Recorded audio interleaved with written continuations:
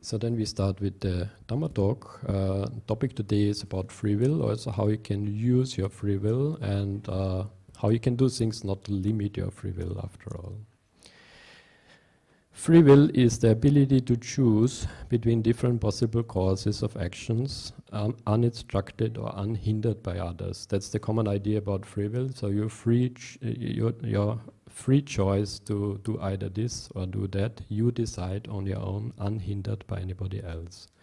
Free will is also closely linked to the concept of responsibility, praise, guilt, and sin, and other judgments which apply only to the actions if they are freely chosen. But the question is, are we really completely free to choose everything we want to do?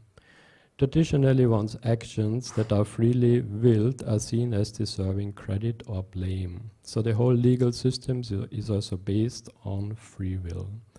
Free will is the capacity to make choices in which the outcome has not yet been determined. Again, the idea is that you have completely free will to choose between A or B or between different options. But as we will see later, even this free will is already conditioned. The opposite of free will is determinism, and I heard this phrase recently I'm Irish, therefore I drink. And uh, determinism is the opposite, so it suggests that only one cause of event of an action is possible, which is inconsistent with the existence of free will. This problem has been identified in ancient Greek philosophy, and it remains a major uh, focus of philosophical debates. So the opposite would be determinism, where you have no free choice, everything is already set in stone. So humans have a free gift, we have a choice, but are we entirely free to choose whatever we want to do? And uh, as we will go on, we see that our choices are conditioned mainly by past uh, memories. So uh, researchers uh, um, suggest that we have about 10 to 30 percent free will. The rest, 70 to 90 percent, is destiny, or it's according to your karmical energies, your memories in your subconsciousness. It's already sure to happen in your life. And all these uh, people who uh, predict the future, people who can read your hand, uh, it's all based on this 70 to 90 percent, which is already sure to happen. As if you go to somebody asking for your a reading about your future, you will notice that nobody's 100%. They always, but more than half of what they say usually does actually happen based on this uh, uh, 70 to 90% destiny. Also, there's a difference between a dharmic person and somebody who does not know the Dhamma. What I mean here with dharmic person is a person who is spiritual, who is meditative, who knows how the mind is working, who has an understanding of the law of karma. Uh, such a person has a little bit more choice. They say we have about 30% free will, rest is still sure to happen. Adharmic means is a person who is not interested in meditation, who does not work with the mind, does not know the Dhamma, is not in any spiritual practice. Usually they are more driven by their karmical uh, memories, by the karma, and they have very little choice. So it's about 10% what they actually can change in their life. The rest, again, is already sure to happen. now, Sam Harris wrote a book about free will, and uh, he raises the question is free will completely an illusion? And according to him, it is. He says free will is an illusion, also, it's a very important matter to talk about it. He says it makes a big difference if we are choosing freely or not, and that he explains in detail. But his final um, uh, outcome of uh, his final conclusion is that free will altogether is an illusion. We don't have free will. So I agree with him partly, but not we have a free will, but it is limited or conditioned already. Also, this one example he gives in his book he says when, a, let's say, a crocodile attacks and tries to kill you, luckily you escape. Second example, a human being, let's say, has a knife and he attacks you and tries to kill you. Again, somehow, luckily, you escape. Now, if you look back at these two examples, uh, you will think completely different about the crocodile and the human. In the case of the crocodile, you will think I was just lucky to escape. The crocodile, you don't blame it personally, you think it doesn't have any free will. It is just uh, uh, an animal who, who does what it does best. Uh, but in the case of the human, you will start blaming the human being personally. You think he has free will, he chooses it purposely to attack me, he should be punished for his action, he should be locked away, he's a criminal. So you have personal uh, ill will feelings towards the human being. Crocodile you see more as I was just lucky that I escaped, and that is what crocodiles usually do. So the way you look at it will be very different. Another example is, let's say, mentally sick criminals. Let's say a murderer is killing innocent people, Later we find out actually he was mentally sick, so he was not uh, completely his free will. He was uh, acting like this because he was mentally having a problem.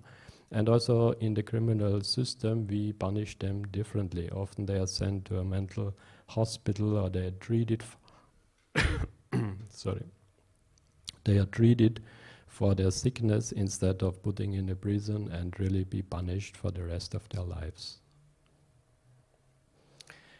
Also in schools now they tried in a few schools in America uh, instead of detention to introduce meditation for the children again with amazing results. So the idea was not to punish the children because they misbehaved in school, but uh, to see it as a mental problem or they have most probably problems at home or there's some issue which they have, something which can be treated and can be cured. And with meditation, they had amazing results. The children became much more calm and peaceful. Also, they could understand what they did wrong. And uh, so detention was uh, no longer necessary for them. Meditation was the cure for all their problems. Another uh, very interesting, uh, there's a, a video, uh, a movie about it. It's called The Dhamma Brothers.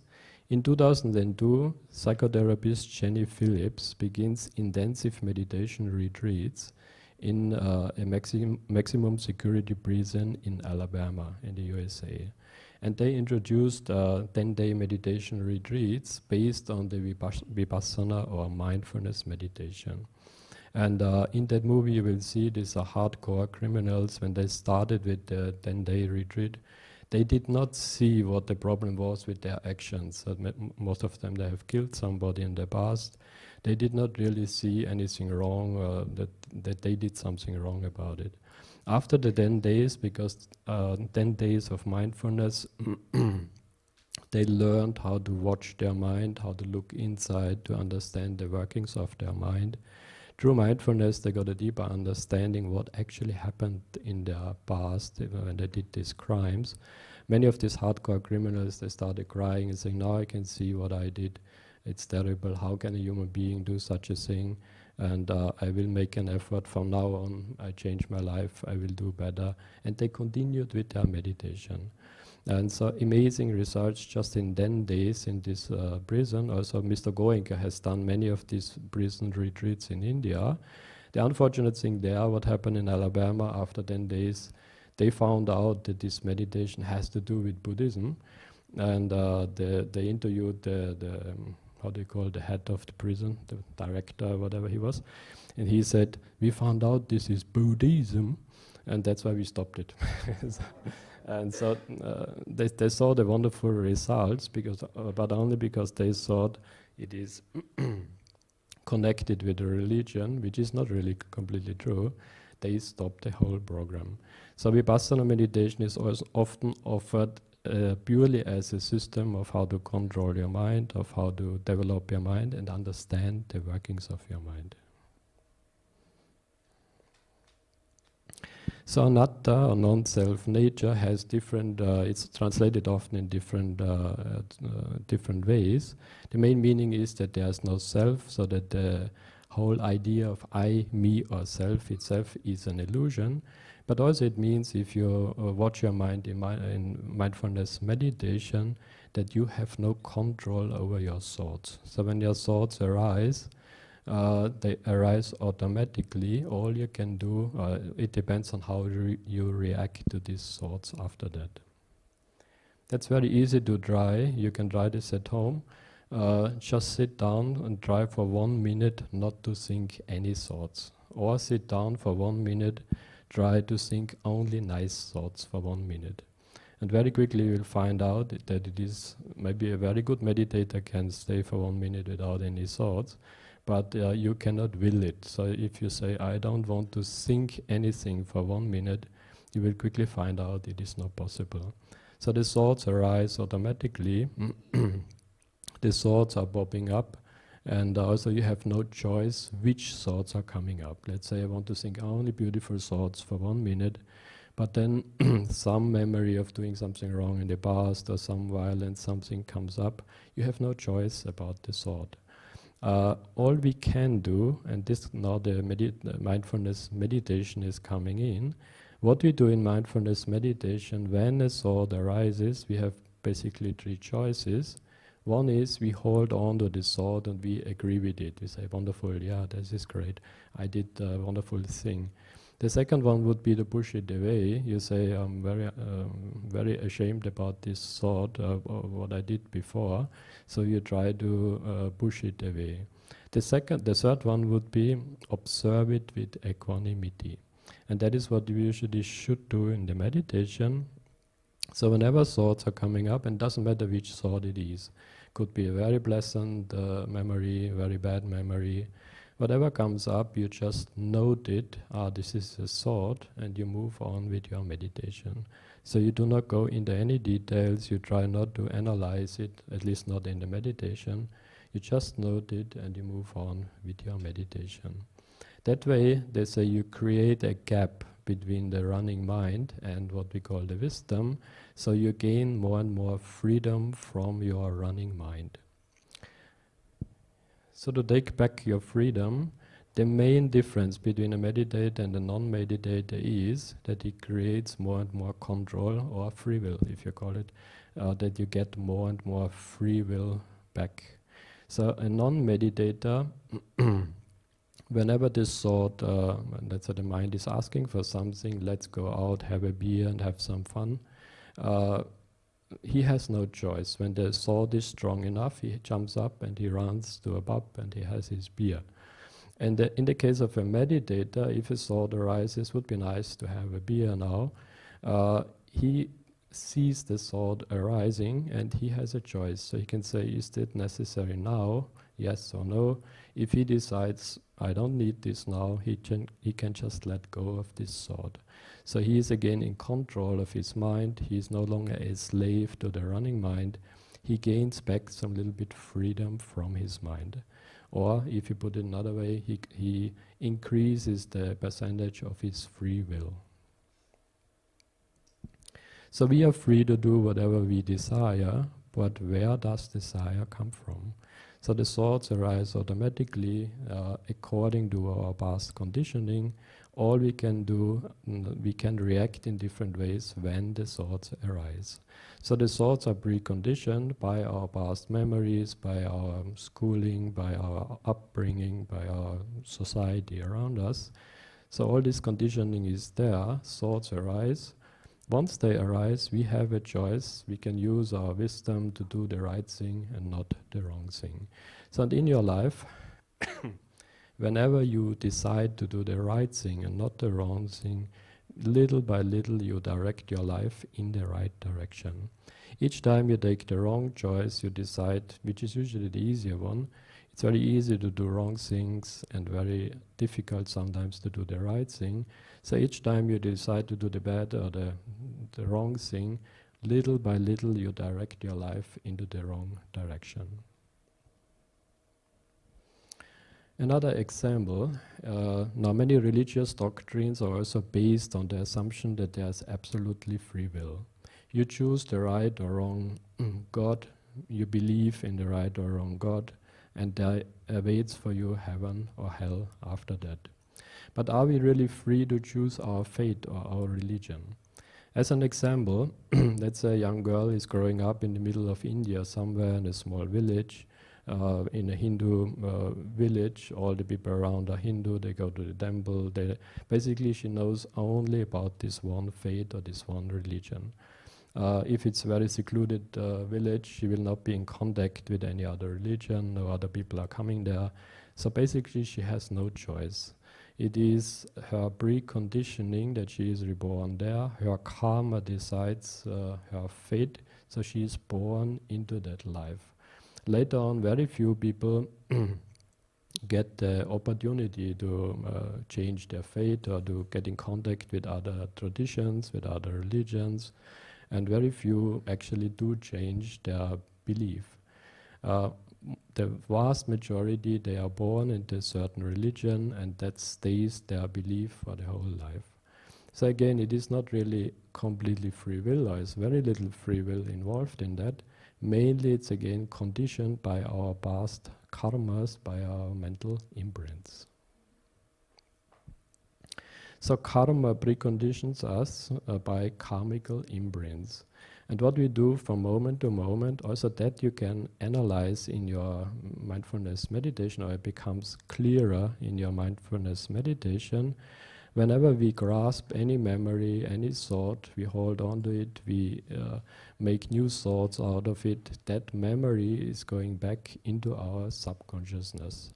At a later occasion, that karma, that mental imprint, is coming up again. It produces a new effect either as a thought, so mainly we are troubled by thoughts. If we do not uh, deal with our mind uh, in, uh, in any spiritual practice or meditation, that karma is growing stronger in the subconsciousness and then ultimately it attracts things from outside. So actually physically something is happening to us. So we are responsible for our karma, but even our action, our thinking, everything is already preconditioned by past memories or past karmas. Last time we talked about uh, open mind. Now, that also has been analyzed in detail. if somebody has a stubborn, strong idea, there could be a religious belief, political belief, anything strong you grasp with your mind, uh, they researched that once you hold on to such a strong idea, you condition your mind even further. Uh, they found out that any strong idea uh, leads to changes in your brain activities. So the brain is firing neurons in a specific way, in a specific network, filtering out all the other reality which does not fit in into that belief system. So whenever we hold on to anything strongly, uh, you are even further conditioned or you lose even more of your free will. So the most important thing therefore for any spiritual practice, for meditation, is to keep an open mind. When we open our mind without beliefs, for, without any strong ideas, we open up a range of understanding and perception and awareness well beyond anything you can access, limited by rigid belief, whatever that belief may be. So it's not only about religious beliefs, any kind of strong belief. The next point, which is very important to understand free will, is the law of karma. And as you can see here with this saying, it's from a, this a Christian saying, so even in Christianity, in Hinduism definitely, they do talk about karma, uh, here, even Moses said this, as you saw, so shall you reap. Jesus talked about it. It uh, uh, originally it was even mentioned in the Bible. Later, it has been taken out. So karma is a very common concept in the West nowadays. Ask anybody about karma, they will say, "Yeah, yeah, of course we know that." But the idea, how they understand it, is quite different. So the, I think more than more than half of them, when they hear the word karma, it means destiny for them. They say that is my karma. That's why I'm acting that way. So they take it as my destiny that is uh, uh, sure to happen in my life. It cannot be changed. Analyzing the law of karma deeper, it means your actions or your ideas, anything you hold on strongly, comes uh, is stored up as a new memory and it creates your future. So even this life is all created by your past karma, all the actions you have done in your past, in your past lives, affect this present life from moment to moment. Also, many researchers say uh, karma can never be analyzed completely. Uh, all we know for sure is whatever you do comes back to you. And so ever what, whatever energy you put out there, it is coming back to you again. It will affect your life. In which way, because karma is usually mixed up with all the other karmas, in which way it is coming back, when it is coming back, how exactly it is affecting your life, that remains uh, a mystery or we cannot analyze it completely. All we know for sure, whatever you put out there, it will be, it comes back into your life again. Now, if you want to use the law of karma for your benefits, and this is, uh, I think, the biggest advantage if somebody, a Buddhist or Hindu, who, somebody who knows about the law of karma, can actually adjust the life accordingly and make use of the law of karma. So we can, uh, for one thing, first we have to understand how it is working, how our mind is working, how we attract different things into our life. And then it is no point to question why is it so, why is there something called karma. It is a natural law which cannot be changed, it is as it is. We can adjust, adjust our life accordingly and get some benefit from it. So if you want to use the law of karma, the first step would be you have to be sure what you want next in your life. So think about what is really the next step or the next thing you would uh, want in your life. What do you want to achieve? Where do you want to go? And that sounds very simple, but actually, if you sit down and think about it, uh, you will find out it's not that clear. It is uh, there may be many different ideas, many things you want, but what is actually the next most important thing you want in your life? Next step would be uh, find somebody to help. So let's say I give just an, a simple example uh, you don't have a place to stay, you're looking for a house. And the best thing would be now you find somebody who also wants, to, who, who is looking for a place to stay, who's looking for a flat or a house, and help that person to find a place to live. So if you just say somebody, uh, somebody is looking for a house, you say, yes, I heard there's an empty place over there, have a look. That alone would be a great help, a good karma. So it works best when you find somebody who needs the same thing or something very similar. They say karma is always working, even if it's completely unrelated. You help anybody, it is always a good karma. But if you find somebody who needs a similar thing, it works even better. Next step would be the reflection or dedication. And also many uh, Buddhists know about the law of karma, but very few do this dedication. Often it is when we do a good karma, we say, may it be for my passed away relatives, for some other people, uh, but you usually, or many, don't dedicate it for themselves. So whenever we do a good karma, number one, first anyway, you get the result because you are the one who is doing it. If you do the uh, like uh, sharing the merit with others, they also can share in the merit, but the biggest part will be always for the one who does it. So and if you do the dedication, the karma even becomes stronger. Let's say I um, reflect now that I was helping somebody to find a place to stay. May this karma be helpful for me to find a house or for me uh, to find a place to stay. So then you can direct the good karma directly to that one uh, thing I need next in my life and uh, it does then not come back in different ways, it comes back in a certain way. And people who have really tried, who analyze this this way and who have tried this, say it, it works in amazing ways. Next one, number four, is you wait. And many get very un, uh, um, they lose their patience when it doesn't come back immediately. But uh, as with other seeds, you plant the seed, uh, let's say you plant the seed of a tree, the next day you don't go there and say, where's the tree, not coming, not working. So it takes some time. And very similar with karma, it takes some time till the karma ripens and comes back to you. But as I said, I heard from many people who do this very seriously, tried it, also non-Buddhists who just know about the law of karma, And they say it works in amazing ways. You can attract things into your life. If you do help somebody, also it helps if you help the person with respect, even if it's a beggar and you give some money, if you do it in a respectful way, if you think this, he is my Buddha, he gives me the opportunity to do a good karma, uh, then the karma is even much, much stronger. So if you do it out of respect and out of compassion, also with understanding that I'm doing something good. And some people now say, if you uh, say, may it be helpful for me, then it's no longer a good deed because it's selfishness. I don't think that's true. If you uh, do a good deed and you say, may it be helpful for me, uh, it, there's nothing wrong with this dedication because the good thing with the law of karma even if you want to use it for yourself, first thing you have to help others. You have to do a good thing first, only then it's helping yourself. Ultimately, we are all uh, connected, we are all interrelated.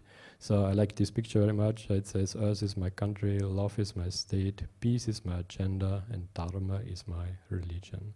So if we look at other people with compassion, even if we see them doing wrong things sometimes, uh, if you have this understanding that it is not completely their free will, they are conditioned by their upbringing, by their past karmas. So if we look at them with compassion, it helps not to get angry about others and not to get angry about society. So don't give away your power, your free will, and there are different ways of doing that. So we have now established that uh, your free will is already conditioned, so maybe you have between 20 or 30 percent.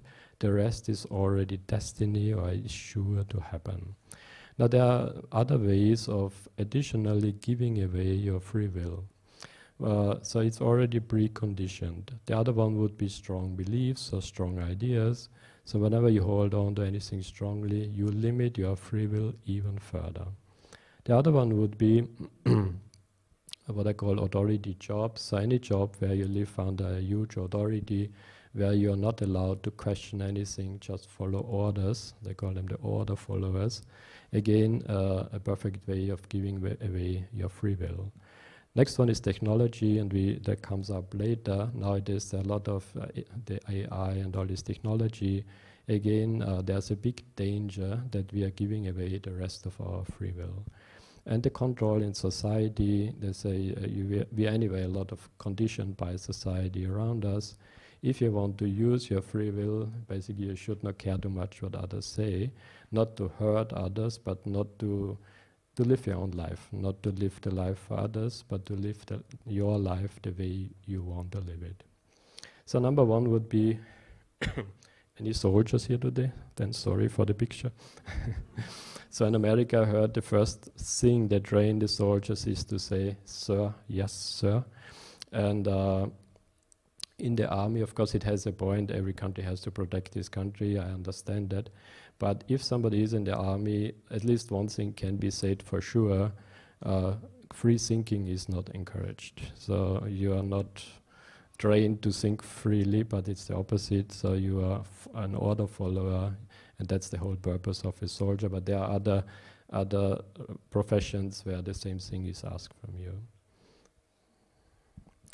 There was a study done, uh, a test done in America years back. Uh, at that time, you know, in the uh, nuke silos, uh, they had there were still two soldiers sitting inside the silo, and when they got the order to send the nuke off, there was still something uh, they called it the human layer in between. So they had to put in the code and they had to press the button.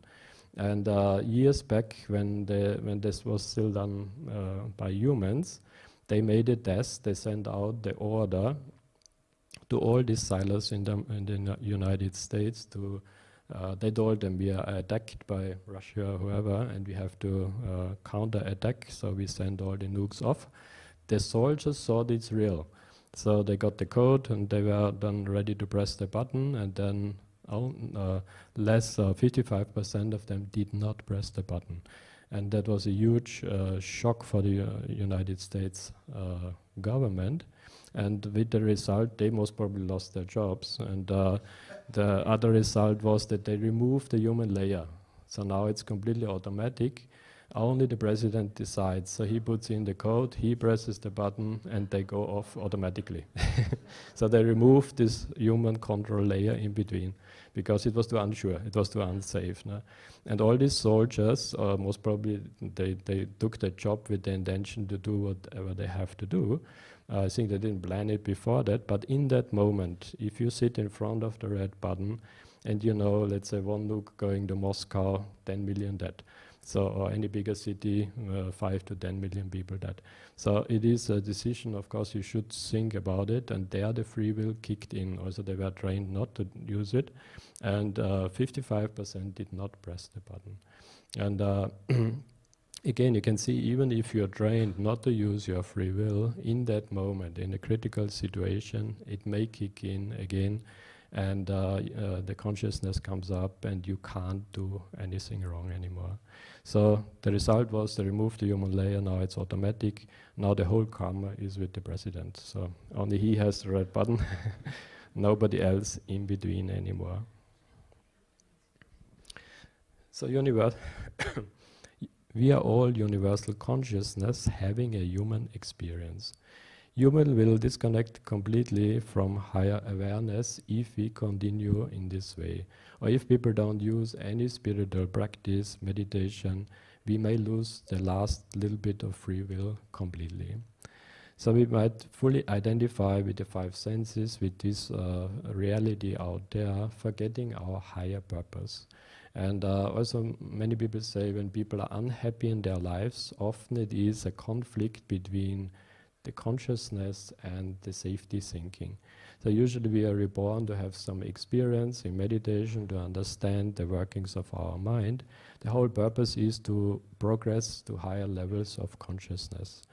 Uh, the safety thinking is like the human layer. I want to have safety. I want to have peaceful. I have to want my little uh, um, uh, paradise around me that no, nobody can disturb me. So it's a safety thinking. I need a lot of money.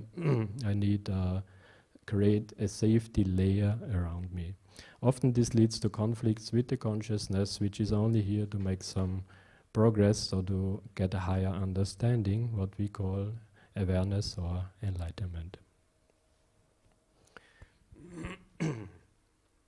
The next way which uh, poses a danger to our free will is AI. Often the insiders call it the last human invention because if it really kicks in, we may not be able to invent anything else anymore. That will be then done by the AI. Uh, there's one famous uh, speaker who talks about this is uh, Elon Musk. He himself has an AI uh, company, so he's developing these robots.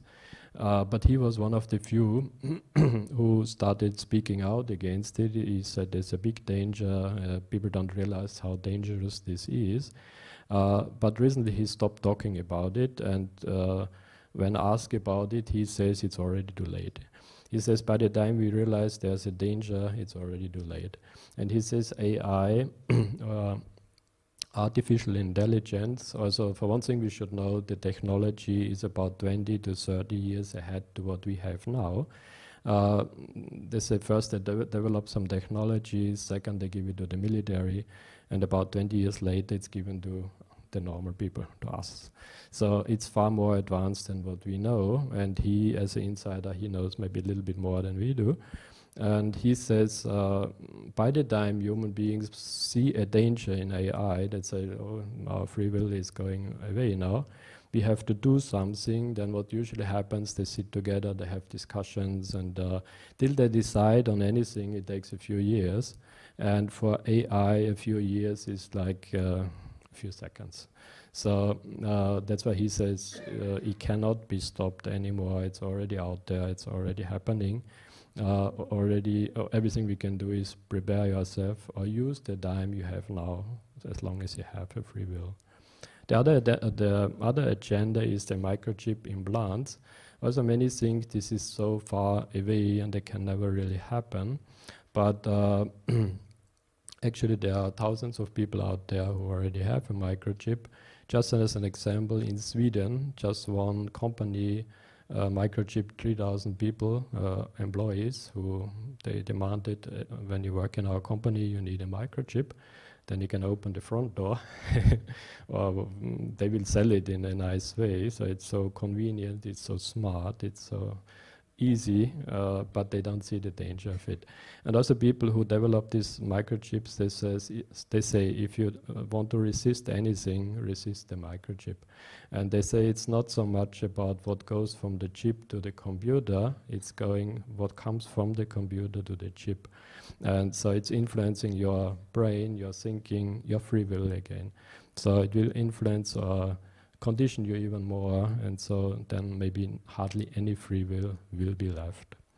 As uh, Julian Assange says, the Australian um, founder of WikiLeaks, he says this generation to be born now is the last to be free. That's his opinion.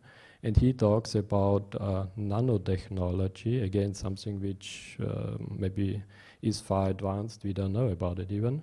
Uh, it's uh, he, he talks about evil dust or tiny microtechnology, which basically you can breathe in. It organizes or reorganizes inside your body, and it's connecting your brain to um, to the cloud, and basically you are uh, a cyborg after that. And also, it's uh, again controlling your consciousness, controlling your free will. And according to Julian Assange, uh, when this really kicks in completely, uh, any form of spiritual practice, meditation, liberation, awareness will be impossible. So with all this technology, there's also a good chance that we will lose our free will and uh, it is often sold as smart. And somebody told me, uh, when, when you hear the word smart, then run. because this is smart meter, smart this, smart that. They sell it in a smart way, or the young uh, people especially, it's so, oh, it's new, it's so wonderful, it's so amazing, and uh, how can you be so backward? And uh, it's sold under the name of smart. And uh, only later we might realize there's a big danger behind it. There's was another article written, it's called the digital heroin. It's more about the screens, uh, all these screens, uh, the, the, phone, the, the laptop, the tablets. Uh, they say the, the, the, flicker rate of these uh, screens is very close to the brain vibrations. So it influences your brain directly, it hooks you to the screen. And uh, it looks like it has been done purposely because it could have been, they say, the insiders say, the technology could have been done completely different so that it does not influence your brain waves. But uh, it looks like purposely done so that you get uh, hypnotized by the screen. And often you can see uh, people, uh, they sit in front of the screen, let's say they watch a movie, the movie is over and they just keep on staring, so they can't get away from the screen anymore. And they say after a while, it doesn't matter what is on the screen, as long as it flickers. And so you get hooked to that.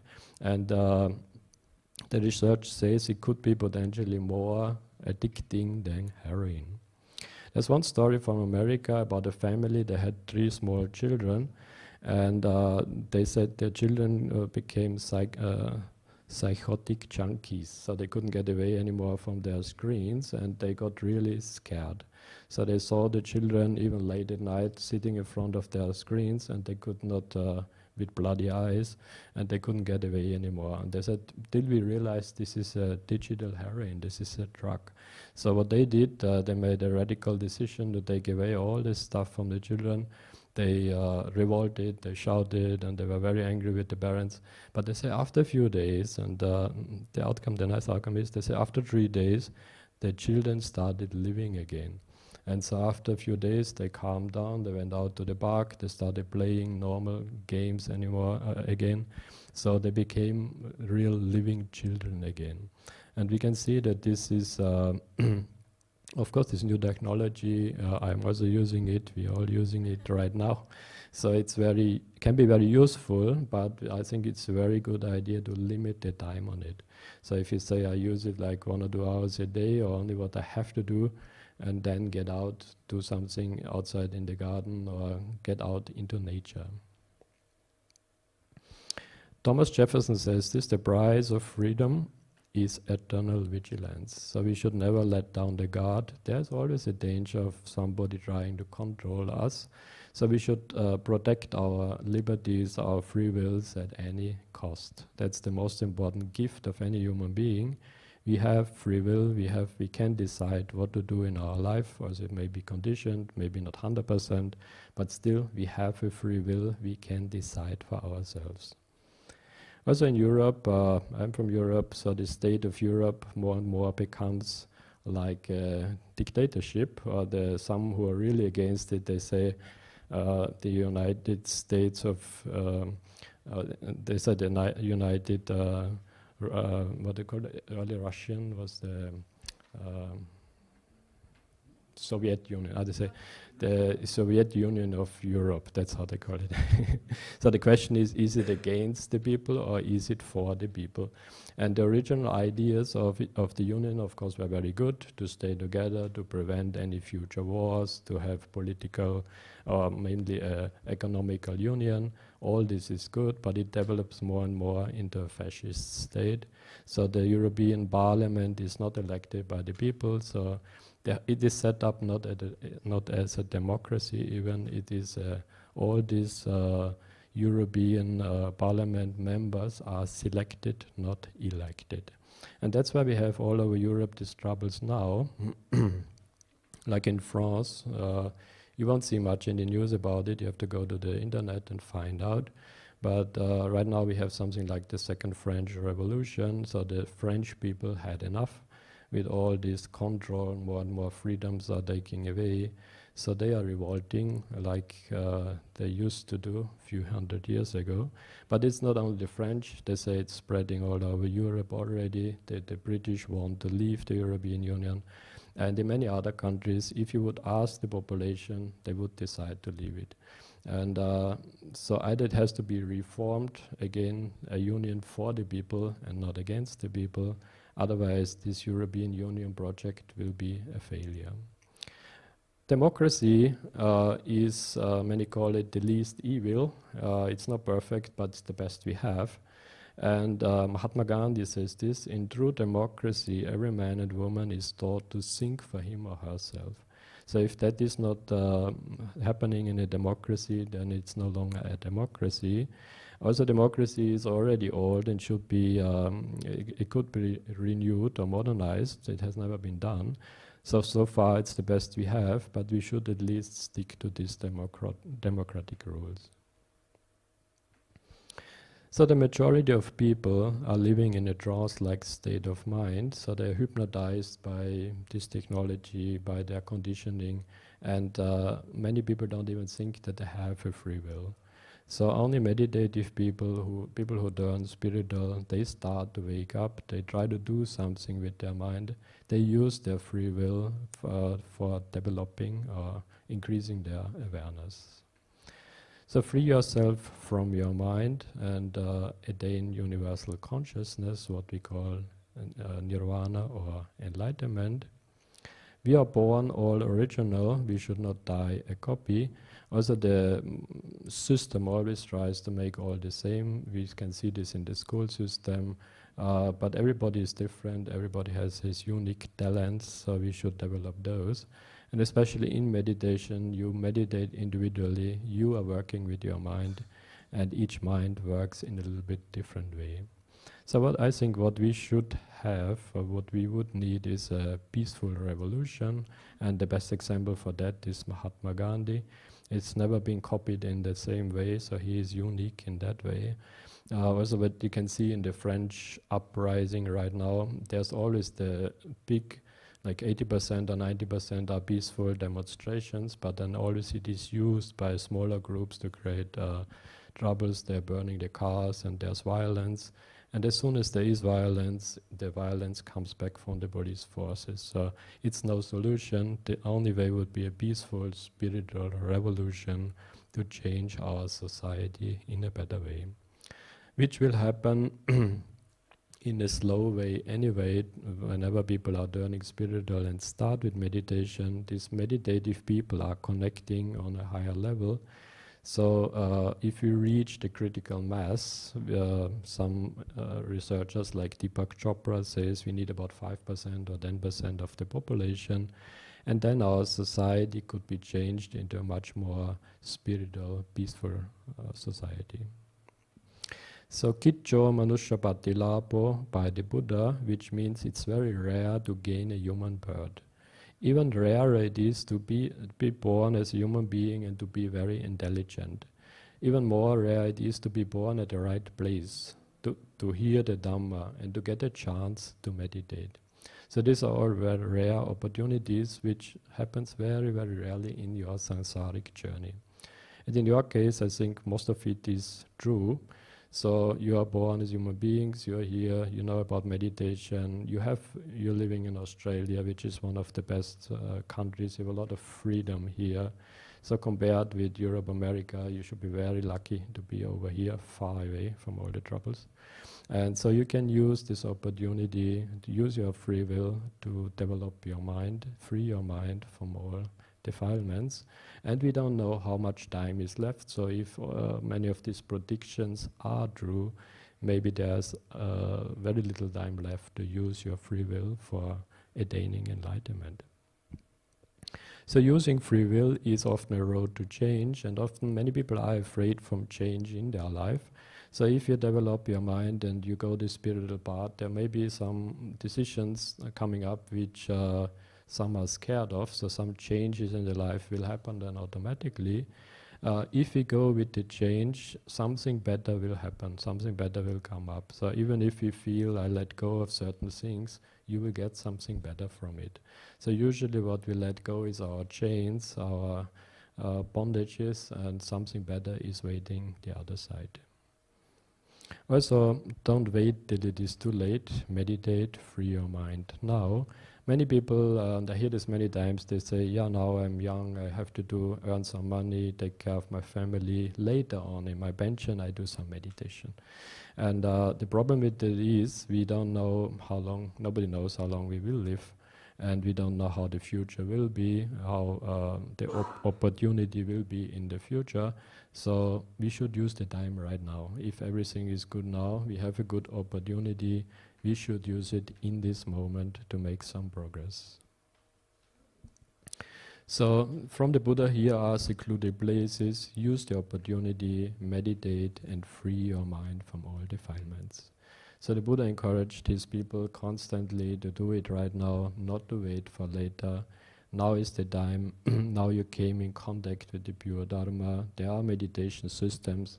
I don't say necessarily only my meditation system, there are about 10 different meditation systems out there which are working perfectly. So if you do it 100%, you can make some progress with them. And each one has to find the system which works for him or herself. So with that, I come to the end of this Dhamma talk about free will. So don't give away your free will. Use it as much as you can. May you all be well and happy, enjoy your meditation, find peace and happiness, and reach higher levels of consciousness. Sadhu. Sabitiyo vivachantu saparogo vinasatu Mati pavatvantarayo sukiri gayuko bhava Bhavatu sappa mangalang rakandu sappa divata Sappa buddhanubhavena sada sati bhavantu te. Then, as Yasmin already mentioned, uh, we have on the 22nd uh, uh, the next meditation day. So uh, it starts at 8:30 to 4:30. Uh, whoever is free, try to come and use the time for one day in mindfulness. The next my next Dhamma talk is on the 23rd. It's about consciousness, how to develop your consciousness to higher levels. With that, uh, we have still a little bit of time for question and answers. So if you want to ask anything about the Dhamma talk, please feel free to ask now before you move on to the other side. Do we have any questions?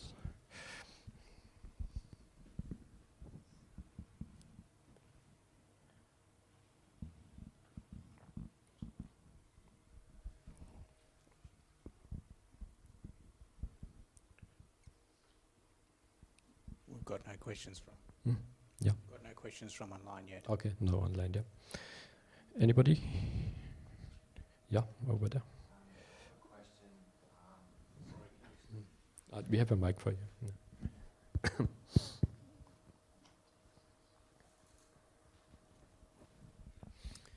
Thank you for your talk. Um, really appreciated that. S- Um, so my question is actually not completely formed, and I'm going to have to uh, form it Okay. on the fly. Form it. Um, so it relates to whether or not free will is really a condition for um, freedom, in the sense that um, um, you know people have to do things sometimes and they don't have the free will and so maybe maybe there's more about how we respond to things within ourselves. Um, maybe there will be times where we have to do things that we. Uh, there will be times when we have to do things that we don't agree with. Um, and so I wonder if there is freedom, if if you could reflect on the possibility of freedom that is independent of um, free will. Yeah, okay. Thank you for the question. It's a good one. Uh, now, even if you don't meditate, say if you don't use free will and you don't purposely do anything, you just go with the flow, even that is an experience. So from moment to moment, everything is an experience for us. Even bad things, uh, any, anything that happens in our lives, it's an experience. We learn from it ultimately, and there is some progress. So we move on anyway, but this is a very slow way. If you make some uh, decision out of your free will to decide, uh, now I want to do some meditation, I want to do something for, your, for my mind, I want to use uh, techniques or meditations to advance my consciousness, then uh, you can do much quicker. But the question is again, why do you think suddenly of doing meditation? Again, that may be preconditioned. So if your many people say if your karma is ready, then only you feel like doing meditation. So you can, then you can use the opportunity. Uh, you use uh, your diamond energy to go into meditation, while others, and I would say if you ask 100 people, come and do some meditation, it's free, it doesn't cost anything. Uh, very few will come, so maybe five out of ten or even less will say, okay, maybe I will try this. Others will say, that's not for me, never, no, I'm not interested, because their karma is not ready for making any progress in meditation yet. So they are, th- maybe in their life they have to do other things, like uh, doing good things or just try to get some other experiences.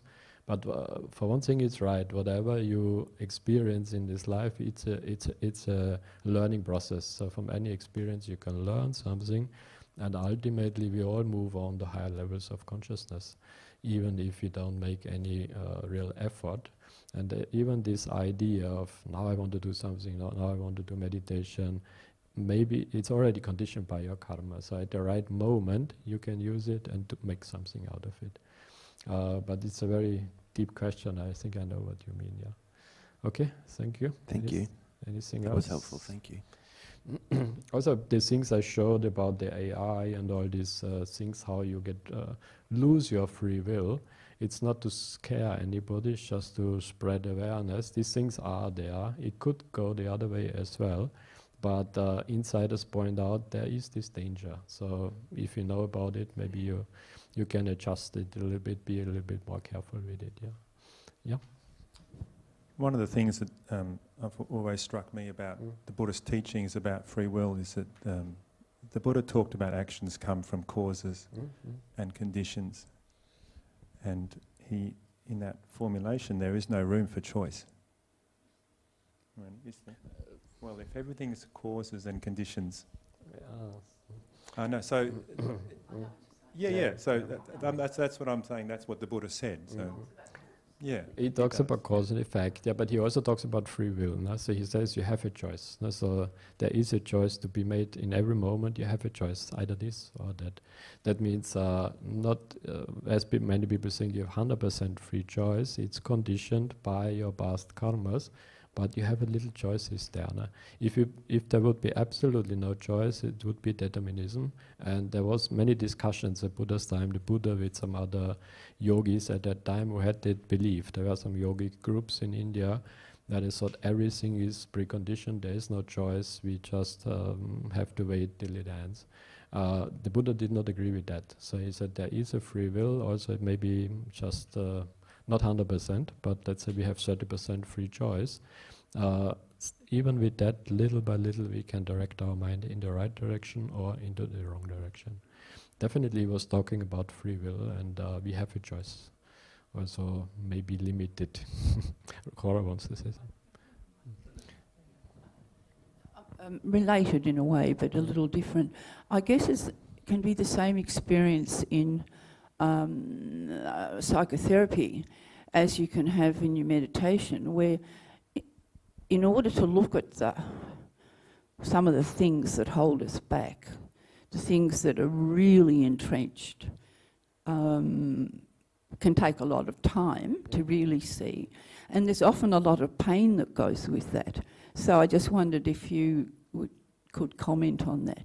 You know, that, that in that process of seeing what you've been stuck yeah, with. Yeah. yeah. Uh, there are many treatments, like even there's like hypnotherapy or so, where you uh, can remove certain blockages in your subconsciousness, and then also um, you get a better chance to see clearer and also do meditation and other things. And some people also say, now these things are possible. And some people say, if you understand the law of karma, how is this possible? It would be like cheating on your karma. No? So there are karmas which have to come back. You have to pay them off. Then you go to hypnotherapist, he removes things, and you're fine again. No? So how can this happen? And uh, but we know this this kind of treatments are working, and they can relieve a lot of pain. Also in that moment, as I say, when it comes out, you face it maybe uh, un unpleasant experience, but after that you feel much relieved. No? And my explanation to that is, even the thought go to see a hypnotherapist is already your karma. So maybe that means when the karma is very strong, uh, you will not think of doing anything. You just suffer from that karma till the karma goes down a little bit. Then maybe you get the idea, ah, maybe I should see somebody to help me you go to hypnotherapist, he helps you, and you you are you come over that. So that means the karma is already on the way down when you get that idea, not before that. Mm. Yeah, yeah, meditation is the same. That's why so, uh, many people, when you say meditation, they are not interested because their karma is different or uh, stronger. Uh, they don't think about it. When you come in the right position, you get this thought, now maybe I should do some meditation. I heard about this mindfulness. And why not try this? That is already when you are in, in, the, in the green area, what they say. So the, the big karma is already on the way down. That's why you get these thoughts even. Uh, and that means also it's the right time to do it. Uh, so then when you get into then meditation 10, you can really make some progress. Uh, but uh, others who, let's say, you force somebody to do some meditation who doesn't want it really, uh, it would be he can't do it, and it would not be successful because he is not ready for it. No? The mind is not ready. That's why it's very amazing. Also with this, what I said, the 10-day retreat in the prison, the Dhamma brothers. By the way, try to watch that movie. Uh, they were very, mm, they offered it. They said, we do this 10 day retreats, and of course, not all came, but they had a group of about 20 or 30 people. Again, even their karma must have been ready in that moment. No? So they were paying off the karma of uh, killing somebody, but uh, the karma was already ready for them to start with meditation with amazing results. No? And it's a pity that they stopped it. Yeah. yeah. Uh, with respect to this question of karma, uh, when Buddha talks of uh, talked of karma, it was talking of the the causes, uh, processes, or something is done and the result. It's not about the personality. Mm. It's, the, something that you do positively or negatively, the results accordingly. Mm. It is not about some person doing something and person is paying for it. It is the action and the reaction. So that is how it. Yeah. So uh, when we falsely think that there is a separate self, as he said at the beginning, uh, as a personality, then of course you pay a price by getting the effects of the actions. But uh, when you develop your mind, when you see that there is no separate self, it's a, it's only a five aggregates arising, uh, the effects of karma really doesn't come to play. It doesn't affect you uh, as a, for a personality. It is just a process and phenomena. You see? So in fact, Yeah. uh, it, that's how it works. Yeah, mainly, mainly as you understand the law of karma is the things you do. No? So the everything you do that has a reaction, but all the past karma, all the past deeds affect your present situation. no? And what he said is about anatta. If in the deepest sense, of course, our whole existence is an illusion. It's uh, what they called anatta. But uh, on, a, on another level, as long as we live this life, we are conditioned and we have a real choice what we do in our life, no? either do, to make the right or the wrong choice. No? Uh, karma is a very deep topic. The Buddha said we can never analyze it completely, how it works, how it comes back to us. So, but uh, we know it's working. Whatever we put out there is coming back to us. We are conditioned, but we have a free choice. At least a little bit is there uh, what we should do not to give away additional free will, so use it as much as possible. And especially also it makes then sense why mindfulness or awareness meditation is so important. Because it's all about consciousness means awareness. So let's say you have a certain amount of consciousness uh, with free will, you can increase that with any spiritual practice or with meditation. So you're mindful, you're, the more aware you are, the more consciousness you have to work with. Uh, but that's next time. Next time is about consciousness. Yeah, then are we good? Behind there's one question. Where do we bring you a mic since you're so far away?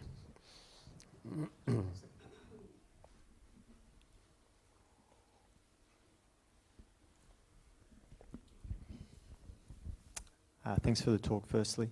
Um, my question is you mentioned uh, Deepak Chopra and the, the critical mass of 5 to 10% that would actually create an environment that would change things. So, from a practical perspective, what can we do to contribute to that? Are we just being here? Are we creating, uh, are we contributing to an environment? Are we creating, uh, contributing to the awareness, the energy that will will, will create that Mm. type of critical mass or and li- I guess you could link it back to the choices we're making. What kind of choices can Yeah. we then make to, Mm, to actually make a difference from a, mm, from a mm. practical perspective to get us there? You can join that very easily, and uh, in the sense that you pi- to, you turn spiritual. So whenever you do meditation, you live a good life. You don't do any bad things. You are a good person, kind person who is doing meditation, who is working with the mind. Uh, you create a lot of good energy, vibrations, and even if let's say you do not you do not teach uh, anybody else to do meditation and in spirituality, they will feel your vibrations. So what Deepak Chopra talks about is, he, I think he even says 5%. He says when we reach 5%, he means uh, meditative people. So people who are spiritual and meditative, who live a good life, just 5% worldwide would be enough to topple society or make it improve on society in a cred- incredible way. And he has proven that many times when they do this, uh, I'm not sure Deepak Chopra together, I think with this Maharishi group, they do sometimes medit- uh, huge meditations. And there was one test done in, uh, I just remember that one in New York City. Uh, about 500 meditators came there and they meditated for the weekend for the two, three days. And they said because of this meditation, because of the positive vibrations we created, within the next one, one month, the crime rate in Washington, D.C. will go down 10%. And uh, the authorities, they, they were informed about it and they said, um, we don't believe in that nonsense, but you do. And uh, but actually it happened. It was more than 10%. It went down tw- 12 or 13% over the next uh, one or two months. So that's what he means. Uh, you influence society with your vibrations. And the more people are spiritual and meditative and living a good life, the easier it will be for others also to join. Uh, that's why in a group meditation on a hall is much easier to meditate than at home. So the positive vibrations, and then also you start talking with your friends. So directly and indirectly, you're influencing society around you. So if you want to join the critical mass, so just meditate. meditate, Thank you. live a good life, be spiritual, and that's all you need to do. So, and uh, I'm not sure about the 5% he's talking about. Maybe it's more, let's say it's 10 or 20%. But uh, much less than half of the population would be enough to change society. Yeah, okay, I think we stop then for the day here. so then, thanks everybody for coming. So we had a very nice program. You're all invited to the other side to join the community dana as well. So may you all be well and happy. Thanks for your participation and have a, have a very nice Sunday. Thank you.